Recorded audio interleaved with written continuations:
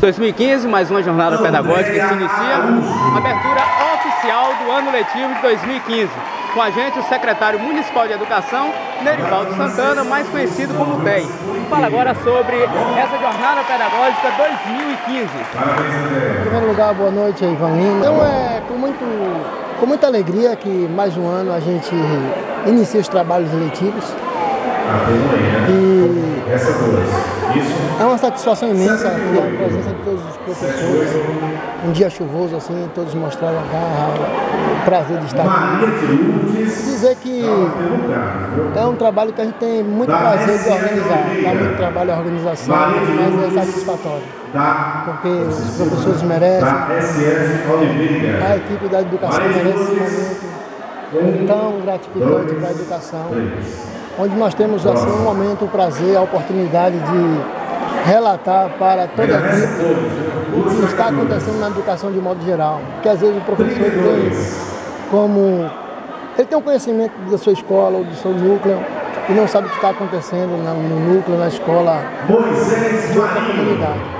Mas é, é um momento que a gente tem essa oportunidade de reunir, ter essa confraternização. Uma integração, né? Essa integração. Então isso é muito importante que eu vejo todo mundo brincando, a gente tem a oportunidade de abraçar, de ver todos assim. E a expectativa para esse ano de 2015 com relação à educação aqui no município de Santa Terezinha? A minha expectativa é boa, porque nós temos assim projetos a executar na educação, como exemplo o plano Municipal de Educação e também o plano de cargos e salários. E é assim, um desafio que nós temos de executar. E é uma nós, bandeira que você defende, né? Muito. E nós não podemos passar sem é, realizar esses é, objetivos que a gente meta primordial assim para esse ano de 2015. Recentemente, claro que a sua participação, a participação da Secretaria da equipe fundamental para a questão da renovação do material escolar. Oh, a luta está sendo árdua, a equipe é competente, não se cansa de procurar, de lutar, de buscar. Então, tanto com recursos próprios, como também com o governo federal, o MEC, tá? nós estamos conseguindo assim é, adquirir mobiliários, já adquirimos os ônibus é, através do projeto Caminho da Escola, nós conseguimos brinquedos para a educação infantil. E todas as escolas do município terão mobiliário novos, né, como cadeira mesa. Nós estaremos levando essa semana, colocando nas escolas.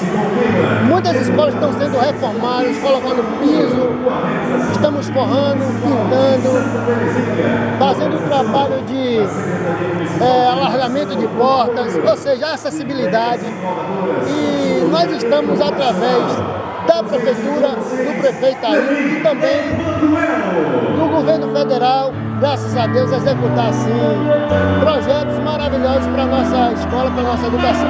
Como tem sido a participação do prefeito Ailton com relação à área da educação? Olha, eu só tenho a agradecer a ele e a elogiar pela oportunidade que ele me deu para estar à frente da educação do nosso município e agradecer essa liberdade que ele dá à educação de buscar é, realizar o trabalho com autonomia, com liberdade. E o mais interessante que eu vejo é que não há perseguição, ele é uma pessoa que ele defende a bandeira da educação, né? ele não é só aquele que fala no discurso, mas procura executar. Então, só tenho a agradecer, a elogiar ele por esse apoio e essa liberdade que ele dá para a gente trabalhar. Espero estar correspondendo com toda a equipe, assim, essa liberdade e essa confiança que ele nos deu. Tá certo, secretário, muito obrigado pela sua participação. Algum agradecimento especial? Bom, eu agradeço a vocês e ao mesmo tempo eu aqui manifesto assim um convite para vocês visitar as escolas lá e a secretaria para a gente conversar mais dos projetos que nós temos na educação. E agradeço a todos os professores, parceiros que colaboraram vêm colaborando com a educação do nosso município. Não vou citar nome porque às vezes a gente esquece um ou outro e aí gera ciúme. Então não podemos ser ingratos. Então, agradecer a todos que colaboram e colaboraram de forma direta ou indiretamente. Assim, Levinha Manuel tocando ao fundo, é, ideias inovadoras mais uma vez, está com participação, essa parceria com ideias inovadoras que a equipe técnica da Jornada Pedagógica? É uma, é uma empresa assim, competente, responsável, e que tem um trabalho diferenciado das outras que se apresentaram para a secretaria. Então, mais um ano a gente fez a parceria com essa empresa e que vem dando assim um resultado muito satisfatório para a nossa educação. Então, agradeço também a empresa por mais um ano estar juntos. Quero assim agradecer a todos pelo trabalho executado no ano de 2014 e dizer a todos vocês que 2015 a lida é maior, o desafio está aí para todos nós enfrentarmos com coragem, determinação e eu conto com a participação, a luta, o empenho de cada um de vocês. Porque quando eu aceitei esse desafio, torno a afirmar, aceitei porque eu sabia que eu teria muitos para me ajudar nesta missão, nesta lida. E com certeza vocês estão demonstrando esse apoio, né, essa fortaleza, porque estão do, do meu lado, a gente tem a possibilidade de acertar mais do que errar.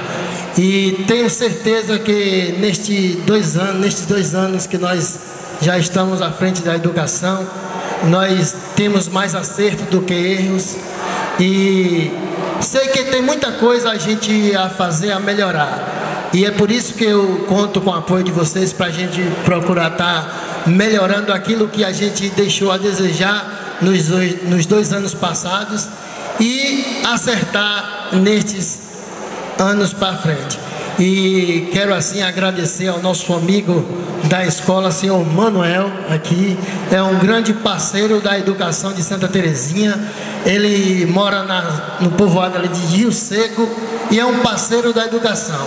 Ele sempre está nas escolas lá da, do núcleo de Rio Seco, dando a sua parcela de contribuição. Porque a educação de qualidade, quando a gente é, escolheu esse tema para a gente colocar na nossa, como um marketing assim da nossa educação, nós colocamos pensando em cada um e cada uma. Porque a educação de qualidade não faz apenas com a secretaria, não faz apenas com o prefeito, com o secretário, com o professor, mas todos nós, comunidade de forma geral.